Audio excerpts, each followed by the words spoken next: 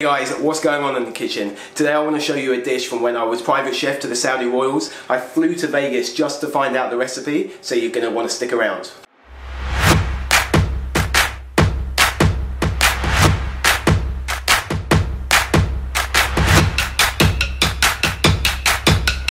Right, it is really, really simple, amazingly simple. So, the secret to the recipe is this Lee Kum Kee hoisin sauce. Use any other one and it's just not going to have the same result. It's just going to be really disappointing.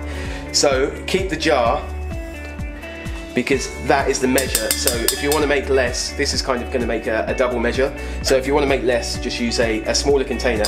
But hoisin sauce, then use the jar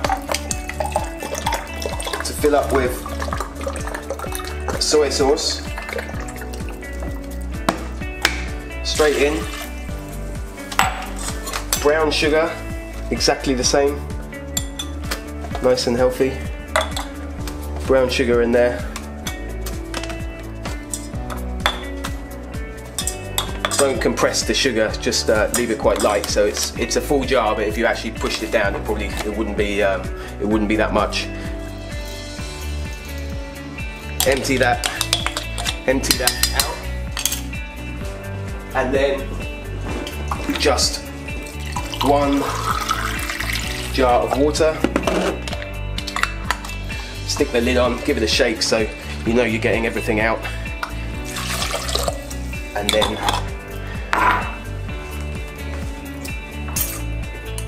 ginger. I love ginger so I always go like heaped on that. And then probably like half the amount of garlic. So, and that's it, it's that easy. So straight onto the stove,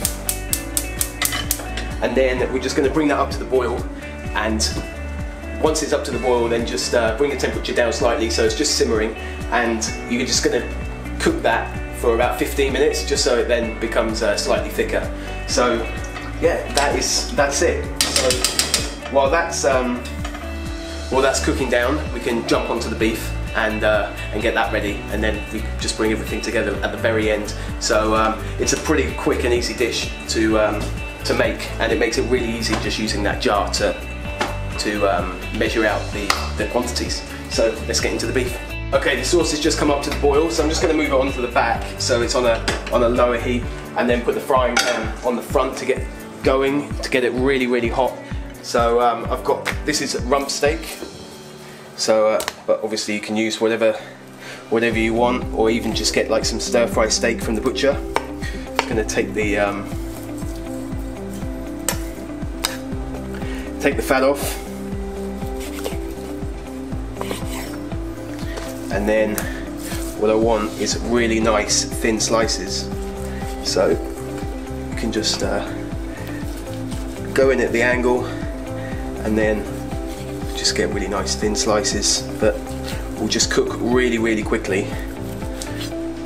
And they'll just be like breaking falling apart when it's actually uh, actually cooked. So even if you if you're having trouble to uh, to get it so thin then you just throw it in the freezer so it, it starts to firm up. And that way um, if you're not so good with a knife you'll just find it much easier to uh, to get really thin slices. So that's it, just work your way through that. And then uh, we can start frying it off in batches. Okay, so I've just got a couple of portions here of, of beef. And just gonna fire up the pan. So go in with some oil.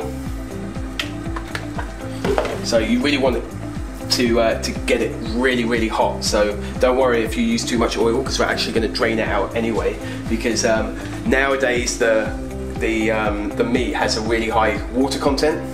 So how I just prefer to do it is fry off the meat really quickly and then just make sure all the um, excess like liquid comes out.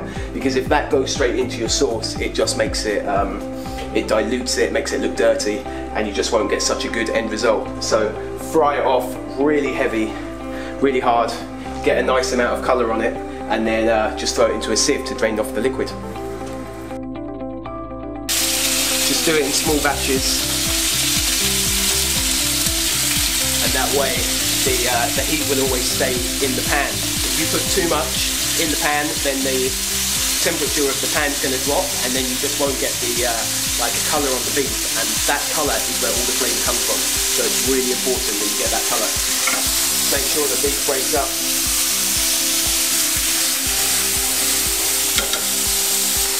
And then just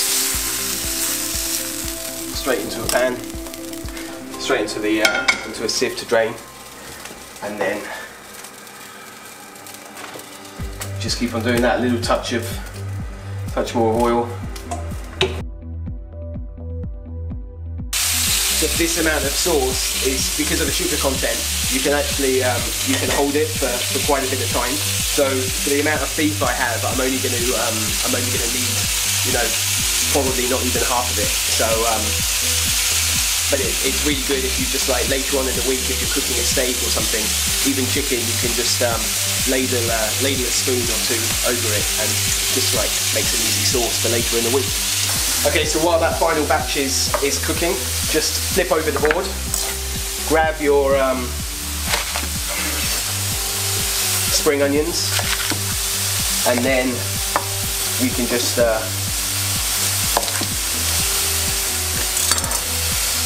have these ready. So as soon as the beef is done, then we can just, um, I just like to throw them in, give them a bit of colour, and then, uh, and that's it. Once you actually add it to the sauce, bring it to the boil, then they're, they're cooked. So that's all you need to do to those, just cut them into batons. And then if you want the green part, you can just use as, um, as garnish. So you can take off the tops, because they're normally uh, a bit damaged and then give yourself some like rondelles of the, the top of the spring onion. This is almost there, so that can come off. There's some flavour on the pan here, so this is now ready and uh, you can see the, um, the consistency of it and just like the shine. It's just uh, really, really nice. So um, just gonna go in with the sauce there. Can add the beef to that. So you can see that the uh, like the liquid that's actually drained out of the um, out of the beef knock that one in. Just gonna quickly fry off the uh, quickly fry off the um, the spring onions. So just throw those in. Once they've got some colour, then uh, you can just add it to the add it to the beef, and then cook up some white rice, and you're good to serve. Okay, so these have got some uh, colour. Literally just adding that little bit of uh, colour onto them, throwing them into the into the beef and then that's it. Just a uh, bed of bed of rice and then just got a really really tasty sweet beef dish. Everyone loves